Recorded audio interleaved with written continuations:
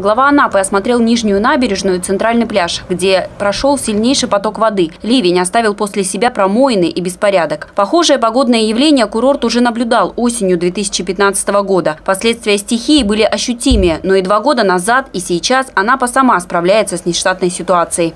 Мобилизованы силы коммунальных и спасательных служб. Во время осмотра глава Анапы не обходит стороной проблему незаконной торговли. Здесь она стоит особенно остро. Почему в рынок превратили? Ну и что, что это частный пляж? Они нас судом понудили продлить договор аренды. Мы им не продлевали именно из-за этого.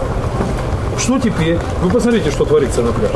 Благодаря другому судебному решению парк превратился в рынок. Позицию администрации частники не разделяют. Вместо зелени и клумб тут красуются ролеты. Порядок в них собственники наводят самостоятельно. У городских предприятий фронт работ важнее – центральные прогулочные зоны. Ремстрой восстанавливает разрушенную плитку, поливомоечная техника отмывает тротуары и проезжую часть. С раннего утра подрядные организации работают над э, уборкой мусора э, и э, мощные машины зачищают все бордюры, э, тротуарную плитку, дороги.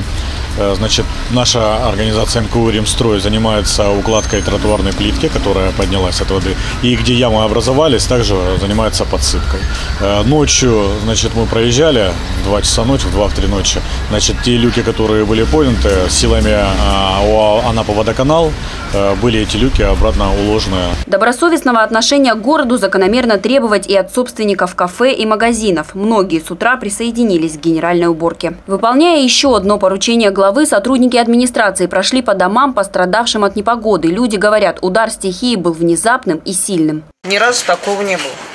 Я даже не знал, что здесь такой есть дождь. По данным Управления гражданской обороны и защиты населения, за час в Анапе выпало 44 миллиметра осадков. Это полуторамесячная норма. Подтопленными оказались 27 дворовых территорий и два домовладения в городской черте в субсехии Анапской. Всю собранную информацию проанализируют и окажут людям необходимую помощь.